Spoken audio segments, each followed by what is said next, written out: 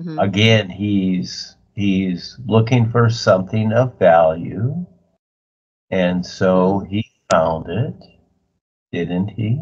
He found something, and you know, as we go through this experience in creation, we decide how we are going to figure out or define what we're experiencing. So he has this experience, and he the idea is he's looking for money, mm-hmm. and so again, uh, he's the decider of his life. Uh, you know, it's showing his intent there. Is that what he wants? Uh, you know, in other words, you know, when you decide something and want to have it, you can have it if that's what you want. And so mm-hmm. now he, you know, he can compare that to the isness and see the difference. So he's going through these experiences like all of us. We keep doing it until we keep refining it as as long as we want to, you know, keep becoming more aware. So again, it's his decision about what he's found and uh, you know what his life is to be. He, he's deciding that. So again, this gives him a hint uh, as to you know what is possible, and uh, you know also in a way what is not needed. But again, uh, we have the personal self, so the personal self is always part of the experience. So we got to figure that out. You know, what is it we really want? What is it we really want to be?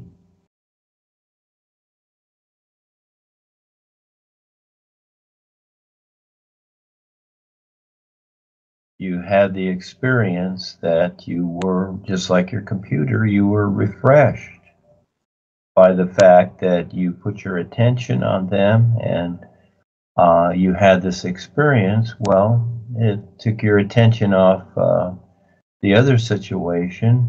And for now, uh, as long as you do that, well, then it uh, it's like it doesn't exist. You see.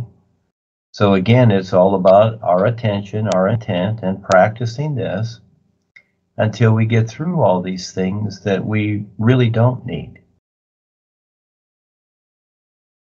I'll start with uh, a post one of the new friends put on the Facebook here. It's a part of a discourse with where they worship and pray to the ghostly gods. Like the sun shining, there is only one true reality, the all is. On the earth, there is mainly planned deception from the Kek systems. The earth is a giant amusement park and nothing more. You are here for the time that it takes you to wake up and recognize the all is. This true recognition is very real and is more than just knowing about the idea of the all is. The true reality life is, is an all aliveness. You have been taught that life is the spirit idea, which refers to the astral realm and the astral light that most people see in their third eye. This is where the first God of man resides and is the most common and emotionally tap-lined to the masses. This is the paradise and happy hunting grounds where people feel all their emotional sensations and the idea of love they have. The astral realm, like all the psych realms, is a place in life, whereas the real universes, with the all is, is an all aliveness and a real position of beingness. We will each have many experiences on the many life levels, and how you view your position depends upon your intent with the whole of life. Some people are looking for love, peace, escape, thrills, and other things that pertain to the personal self only. Of course, as long as you have a body, you will have a personal self. But it is your true intent that separates you from the ordinary person and this is something only you can decide.